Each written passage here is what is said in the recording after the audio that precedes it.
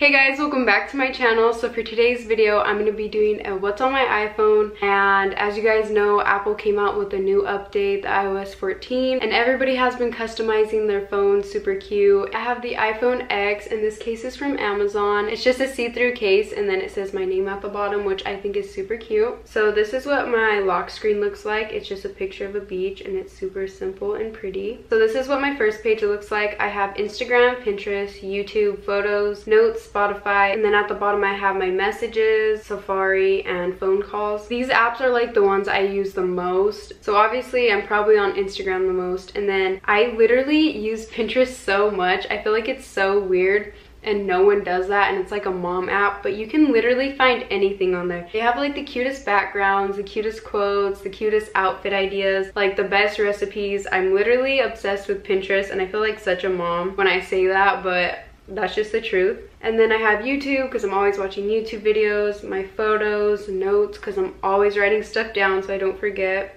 and then Spotify. And then at the top, I have a calendar and it says September 1st, but it's literally October 1st. So I have no idea why it says that, but it's still really cute and I have no idea how to fix that. And then at the bottom, I have one that just says Thursday and I think they're super cute. And then this is what my second page looks like. And at the top, I just have a picture of me and my boyfriend. We were in my living room and like I looked at our shadows and I was like, that's so cute. Let me take a picture. And then I like never used it for anything. But then I looked at the picture and it fit like the theme of my phone so I used it and it's super cute and I really like it and then I have another one and it just says he has a plan and I have a purpose and I thought it was just a really cute quote. The next folder I have is just the social media apps that I don't use as often. I have Twitter, Snapchat, and TikTok. I like only use Snapchat to like talk to my family and then I put TikTok on this page because I did not want to spend all my time on TikTok because literally you get on that app and then you spend like an hour there so I was just trying to stay away from this app because I will literally be on there all the time. And then I have a folder of a bunch of Apple apps that I sometimes use but usually don't use that much. And then I have photo and video and these are just the apps that connect to my printer and an app that connects to my camera.